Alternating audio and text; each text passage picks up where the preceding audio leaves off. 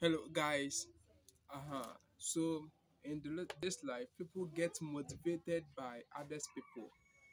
Okay, there's there's nothing wrong about that, but it's so bad. Say people used to want to get money to impress others. Whereby, think about it.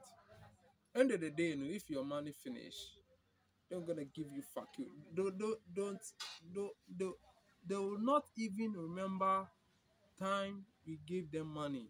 So be rich out, be rich, like